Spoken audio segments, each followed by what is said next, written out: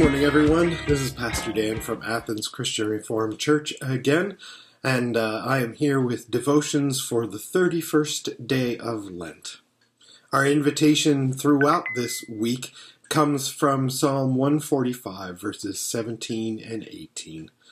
Just take a moment and take a deep breath, and uh, perhaps close your eyes to listen, uh, do whatever is comfortable, but just pause and hear this invitation from Scriptures. The Lord is righteous in all his ways and faithful in all he does. The Lord is near to all who call on him, to all who call on him in truth.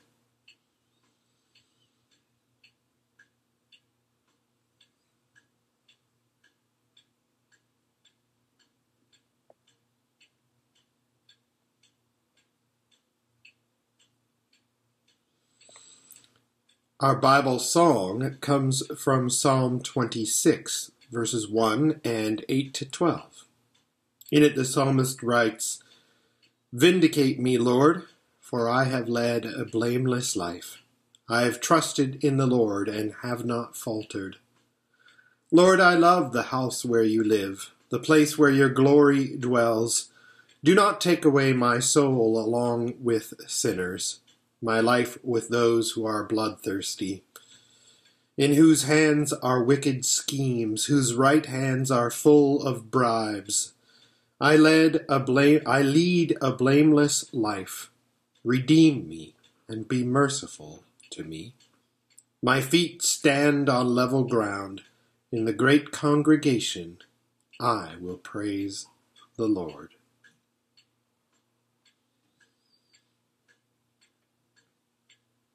It's funny, the psalmist says that he has led a blameless life twice in this. And, uh, of course, that's not really true. Um, at least from a, you know, factual standpoint.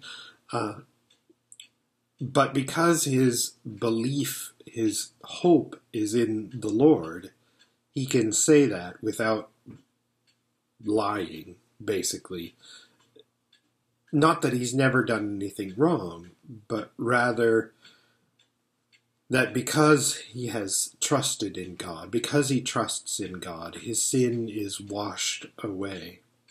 That is why, uh, a little bit towards the end, in near verse uh, 12, he says, I lead a blameless life. Redeem me and be merciful to me. You get that contrast right within that same sentence Redeem me and be merciful to me, and I lead a blameless life. Obviously, those things both can't be true, but yet he says them because he has been redeemed by God in the past, and he is counting on, relying, and asking for God's redemption in the future as well. Listen to what our Bible reading says Hebrews 5, verses 5 to 10. In the same way, Christ did not take on himself the glory of becoming a high priest, but God said to him, You are my son. Today I have become your father. And he says in another place, You are a priest forever in the order of Melchizedek. During the days of Jesus' life on earth, he offered up prayers and petitions with fervent cries and tears to the one who could save him from death. And he was heard because of his reverent submission. Son though he was, he learned obedience from what he suffered, and, once made perfect, he became the source of eternal salvation for all who obey him, and was designated by God to be high priest in the order of Melchizedek.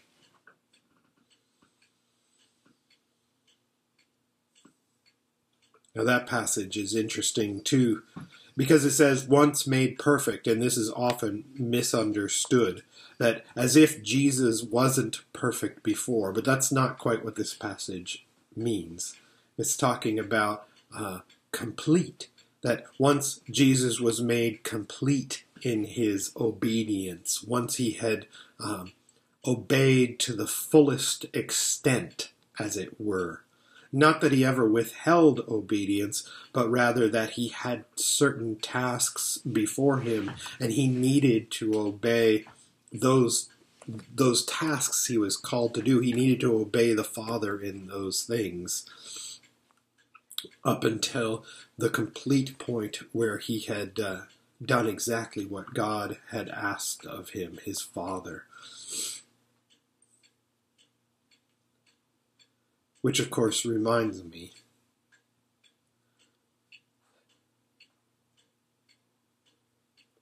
that we too are perhaps suffering during this time. And perhaps, no, definitely, we are also being asked to be obedient to the calling of God the Father in our lives today. And so maybe that's something you can ponder today. If you are suffering or struggling with worry or anxiety, or, or if you are working hard on the front lines of, of healthcare or whatever your situation, in your suffering, what is God calling you to do obediently in this time? Let's pray. Jesus, friend of sinners, what friend would stand in my place like you?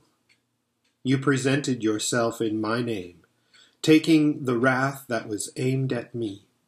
You offered yourself on the cross, pouring out your precious blood for the cleansing of all my sins.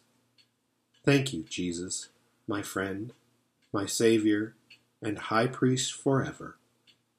Amen. Now receive God's blessing today. God has given us eternal life, and this life is in His Son. Whoever has the Son has life. Amen. Go in God's peace today and seek out what God is calling you to do in your time of suffering.